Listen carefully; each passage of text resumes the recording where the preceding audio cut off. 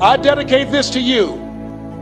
to the greatness in you, and to the dream that you showed up on the planet to produce. And it's simply this if you want a thing bad enough to go out and fight for it, to work day and night for it,